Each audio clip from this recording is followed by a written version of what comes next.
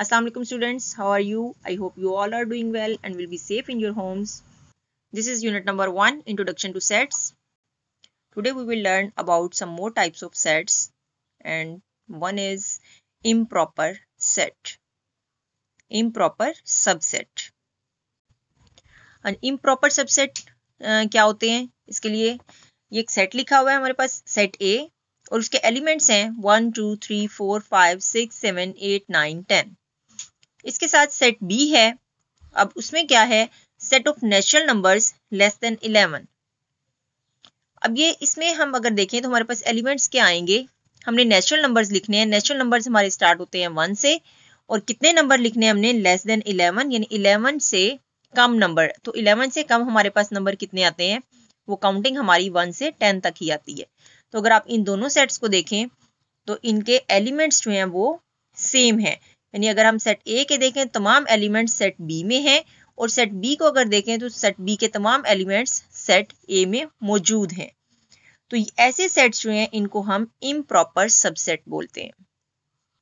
तो ये डेफिनेशन जो है, अपनी बुक के ऊपर हाईलाइट करें improper subset a subset that contains every element of the set A is called the improper subset of A यानी ऐसे सेट जिसमें अगर दो सेट हैं तो दोनों सेट्स में तमाम एलिमेंट्स जो हैं वो एक दूसरे के अंदर मौजूद होने चाहिए। तो ये हमारे इम्प्रॉपर सबसेट कहलाते हैं।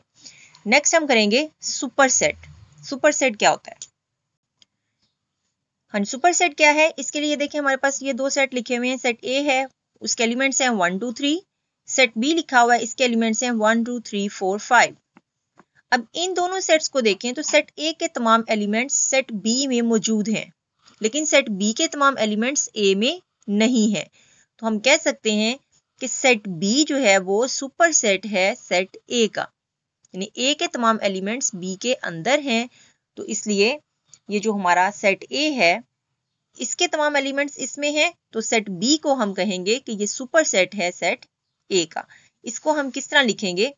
B superset of set A superset के लिए हम ये सिंबल यूज़ करते हैं। ये डेफिनेशन अपनी बुक्स के ऊपर हाईलाइट करें। A superset is a set that contains all the elements of a smaller set. यानी जो सेट छोटा होगा, उसके तमाम एलिमेंट्स जो हैं, वो बड़े वाले सेट के अंदर मौजूद होंगे। तो उस बड़े वाले सेट को हम क्या कहेंगे कि ये सुपर सेट है उस स्मॉलर सेट का। नेक्स्ट है पावर सेट अब पावर सेट के लिए हमने क्या करें? ये एक सेट लिखा हुआ है। Set A one two three ये इसके एलिमेंट्स हैं। अब हमने इसका पावर सेट लिखना है। तो पावर सेट क्या होता है?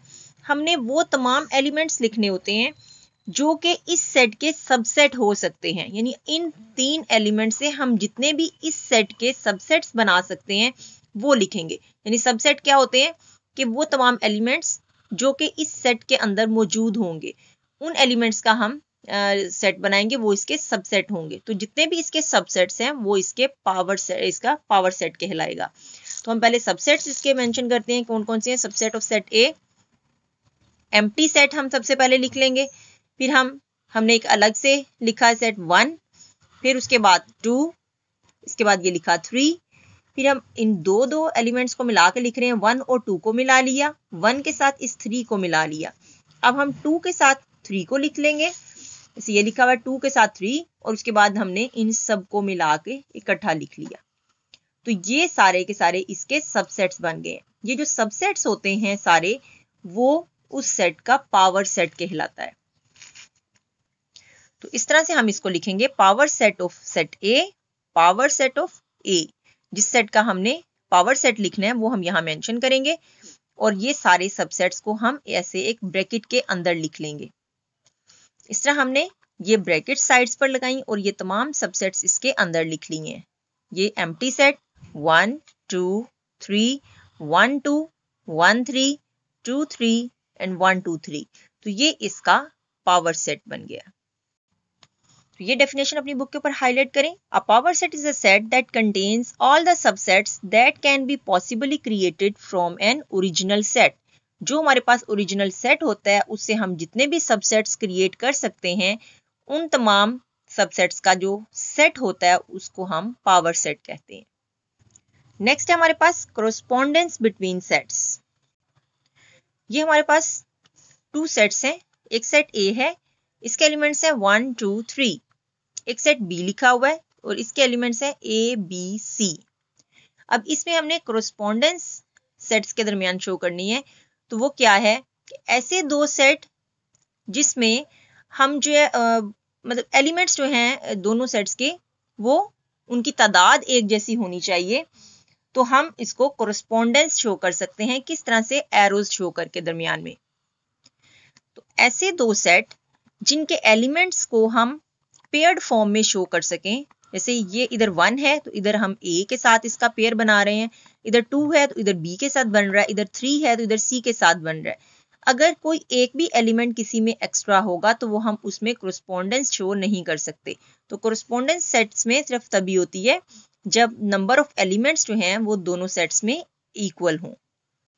तो इस तरह हम सेट्स के दरमियान कोरस्पोंडेंस शो करते हैं। ये दरमियान में ये जिसको हम इक्विवेलेंट सेट्स आपने पढ़े थे, उसके साथ भी हम इसको रिलेट कर सकते हैं।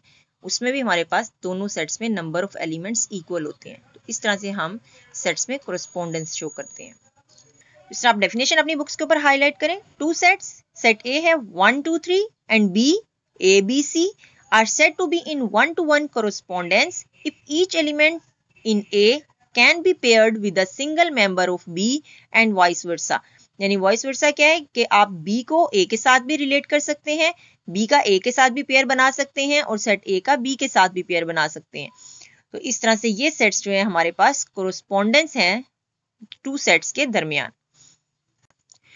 नेक्स्ट हमारे पास cardinality of a set cardinality किसको कहते हैं? जो हमारे पास एलिमेंट्स लिखे होते हैं, कोई भी सेट है, उसके एलिमेंट्स की जो तादाद होती है, वो उसको हम कार्डिनलिटी बोलते हैं।